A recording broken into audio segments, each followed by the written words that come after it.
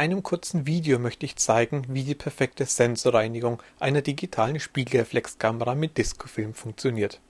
Discofilm ist eigentlich ein Reinigungsmittel, das für verstaubte Schallplatten entwickelt wurde. Da hier viel größere Flächen als bei einem Sensor zu reinigen sind, ist die kleinste Bestellmenge ein halber Liter.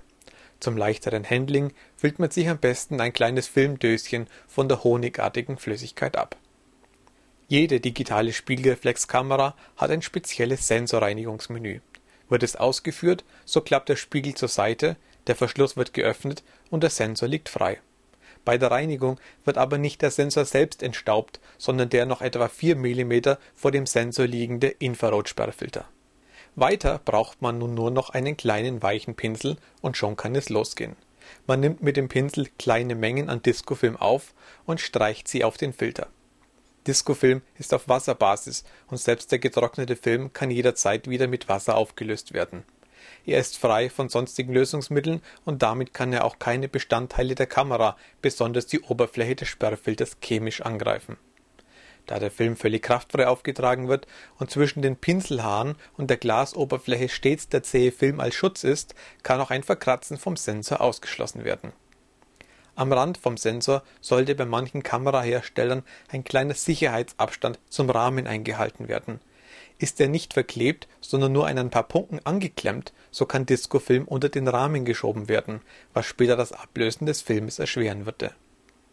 Bis der Film getrocknet ist, muss die Kamera eben liegen, sonst sammelt sich der Film auf einer Seite und die andere Seite wird zu dünn. Entweder man unterstützt dazu die Kamera an der richtigen Stelle oder man entfernt die Augenmuschel zum schnelleren Trocknen bleibt der Verschluss geöffnet und das Bajonett wird nur mit einem Papier abgedeckt. Nach ein bis zwei Stunden ist der Film getrocknet. Da der Sensor durch den Film staubgeschützt ist, reicht einfaches Abdecken aus. Alle Staubpartikel sind nun in dem getrockneten Film eingeschlossen. Um den Film auch wieder abziehen zu können, muss noch eine Abziehlasche angebracht werden.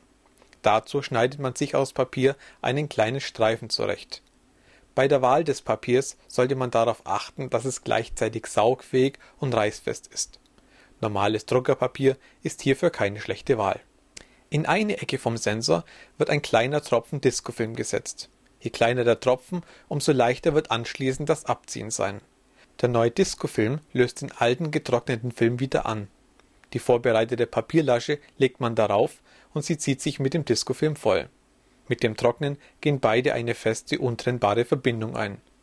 Diesmal dauert das Trocknen nur etwa eine halbe Stunde.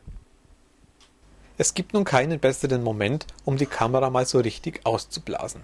Ich verwende dazu gefilterten Stickstoff aus der Druckluftflasche, aber das hat nicht jeder zu Hause stehen.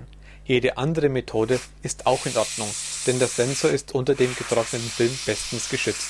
Der empfindliche Verschluss ist eingezogen und der Spiegel liegt vor der Mattscheibe.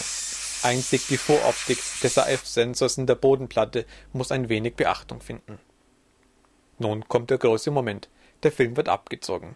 Zu Beginn kann es etwas streng gehen und einen Druck benötigen. Daher ist es auch wichtig, reißfestes Papier zu nehmen. Aber dann kann der Film leicht in einem Stück ohne Kraftaufwand abgezogen werden. Jetzt nur noch die Kamera ausschalten und die Reinigung ist beendet. Der abgezogene Film ist weder klebrig, noch hinterlässt er Schlieren oder andere Rückstände und ist ausgesprochen widerstandsfähig. Es fehlt noch der fotografische Test. Dazu macht man ein Bild bei kleinstmöglicher Blende von einer einfarbigen Fläche. So sah der Sensor noch vor der Reinigung aus und das ist das Ergebnis nach der Reinigung mit Discofilm